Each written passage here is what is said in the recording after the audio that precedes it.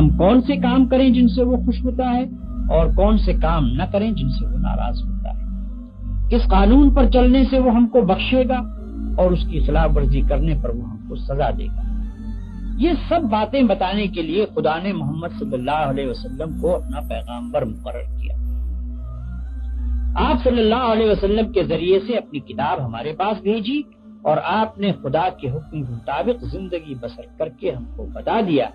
कि मुसलमानों को इस तरह ज़िंदगी बसर करनी चाहिए।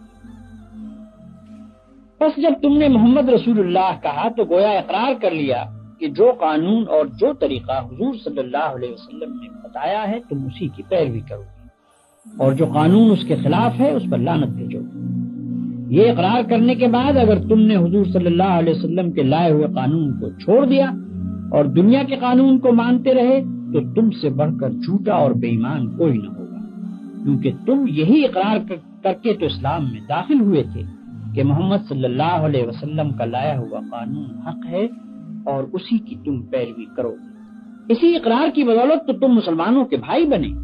इसी की बदौलत तुमने बाप से विरसा पाया। इसी की बदौलत एक मुसलमान औरत से तुम्हारा निकाह हुआ। इसी की बदौलत तुम्हारी औलाद तुम्हारी जायज़ औलाद बनी। और अगर इन सब के बावजूद तुमने अपना इकरार तोड़ दिया तो इससे बढ़कर दुनिया में कौन सी बेईमानी हो सकती है? अगर तुम ला इलाहा मोहम्मद रसूलुल्लाह के मानी जानते हो और जान बूझ कर इसका इकरार करते हो तो तुमको हर हाल में खुदा के कानून की पैरवी करनी चाहिए। हाँ उसकी पैरवी पर मजबूर करने वाली कोई पुलिस और अदालत इस दुनिया में नज़र न आती। जो शख्स ये समझता है कि खुदा की पुलिस और फौज और अदालत और जेल कहीं मौजूद नहीं है इसलिए उसके कानून को तोड़ना आसान है और गवर्नमेंट की पुलिस, फौज, अदालत और जेल मौजूद है। इसलिए उसके कानून को तोड़ना मुश्किल है। ऐसे शख्स के मुतालिक मैं साफ़ कहता हूँ कि वो ला मोहम्मद रसूलुल्लाह का झूठा इकरार करता है। अपने खुदा को, सारी दुनिया को, तमाम मुसलमानों को और खुद अपने नफ्स को धोखा देता है। भाइयों और दोस्तों अभी मैंने तुम्हारे सामने कलमा तैयबा के मानी बयान किए। अब इसी सिलसिले में एक और पहलू की तरफ़ तुमको तवज्जो दिलाता हूँ। तुम इकरार करते हो कि अल्लाह तुम्हारा और हर चीज़ का मालिक है। इसकी क्या मानी? इसके मानी ये है कि तुम्हारी जान तुम्हारी अपनी नहीं, खुदा की मिलती तुम्हारे हाथ अपने नहीं, तुम्हारी आँखें और तुम्हारे कान और तुम्हारे जिस्म का कोई उज्व तुम्हारा अपना नहीं।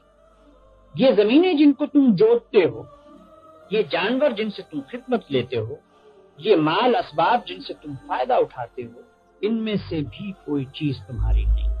हर चीज़ खुदा की मिल्क है और खुदा की तरफ़ से अतिय के तौर पर तुम्हें मिली। इस बात का इकरार करने के बाद तुम्हें ये कहने का क्या हक है कि जान मेरी जिसम मेरा है, माल मेरा है और फला चीज़ मेरी। दूसरे को मालिक कहना और फिर उसकी चीज़ को अपनी करार देना बिल्कुल एक लव बात।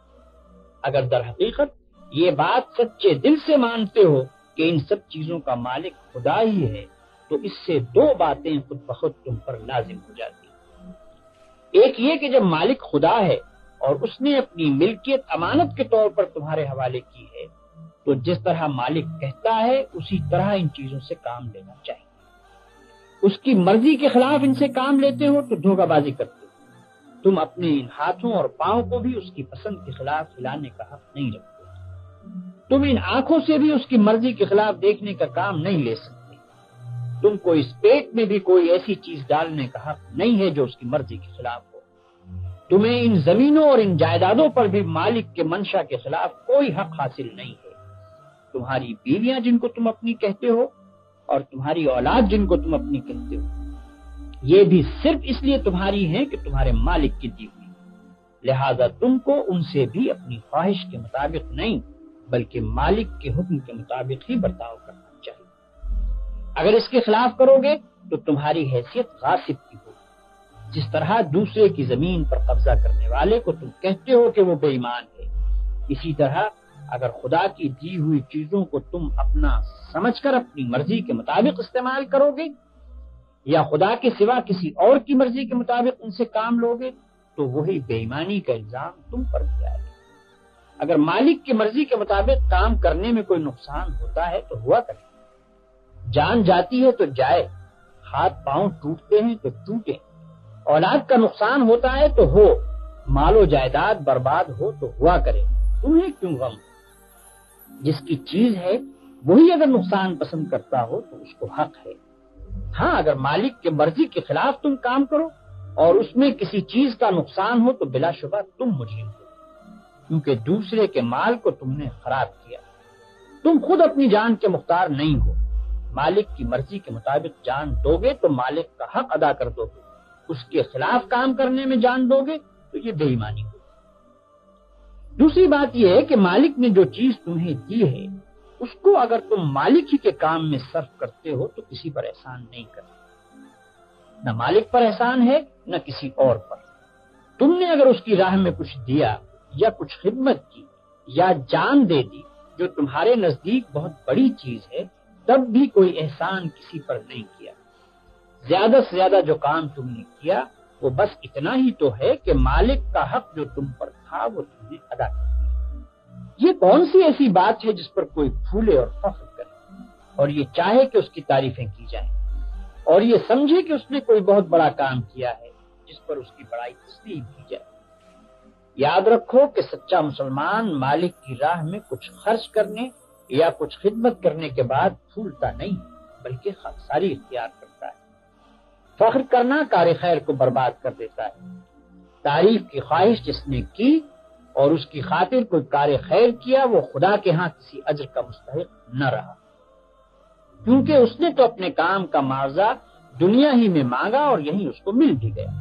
भाइयों, अपने मालिक का एहसान देखो कि अपनी चीज़ तुमसे लेता है और फिर कहता है कि ये चीज़ मैंने तुमसे खरीदी है और इसका मुआवजा मैं तुम्हें दूँगा। अल्लाह अकबर।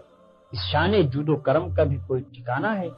कुरान में इरशाद होता है कि इन अल्लाह मिनल मुमिनीन अनफुसहुम व अमवालहुम बिअन्न लहुम अल्लाह ने ईमानदारों से उनकी जाने और उनके माल खरीद लिए हैं, इस मुआवजे में कि उनके लिए जन्नत। ये तो मालिक का बर्ताव तुम्हारे साथ अब जरा अपना बर्ताव भी देखो। जो चीज़ मालिक ने तुमको दी थी और जिसको मालिक ने फिर तुमसे मुआवजा देकर खरीद भी लिया, उसको गैरों के हाथ बेचते हो। निहायत जलील मुआवजे ले लेकर बेचते हो।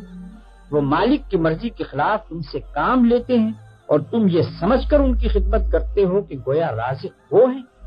तुम अपने दिमाग बेचते हो, अपने हाथ पाँव बेचते हो, अपने जिस्म की ताकतें बेचते हो और वो सब कुछ बेचते हो जिसको खुदा के बागी खरीदना चाहते इससे बढ़कर बदखलाकी और क्या हो सकती है?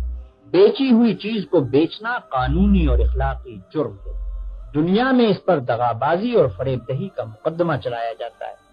क्या तुम समझते हो कि खुदा की अदालत पे इस पर मुकदमा नहीं चलाया जाएगा?